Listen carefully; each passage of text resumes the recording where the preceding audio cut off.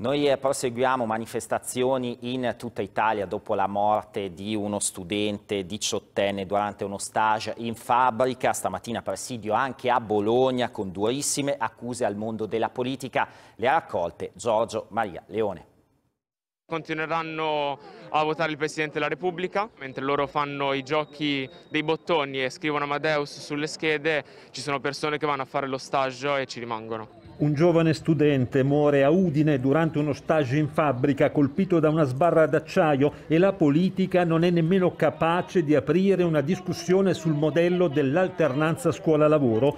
È il messaggio da Bologna di una rete di studenti, sindacati e partiti di sinistra Lorenzo Parelli aveva 18 anni, doveva essere tra i banchi di scuola, ma una legge dello Stato che vuole più formazione tecnica e meno pensiero critico lo ha mandato a lavorare senza retribuzione in un contesto pericoloso tanto da rimetterci la vita all'ultimo giorno di stage. Con le inchieste che abbiamo fatto come giovani comunisti risulta al momento totalmente carente la formazione fatta ai giovani per quanto riguarda la sicurezza sul lavoro. Non è il primo incidente, se le cose non cambiano non sarà nemmeno l'ultimo. Il rischio che le imprese approfittino degli stage per avere manodopera gratuita è stato più volte sollevato da alcuni sindacati che ha introdotto quelle norme di legge e le ha votate, spiegano gli studenti, deve ritenersi politicamente responsabile di quanto accade. A governo e Parlamento chiedono di tornare al sistema dell'apprendistato più sicuro perché sottoposto ai contratti nazionali di lavoro. Non si può mandare dei ragazzi a lavorare senza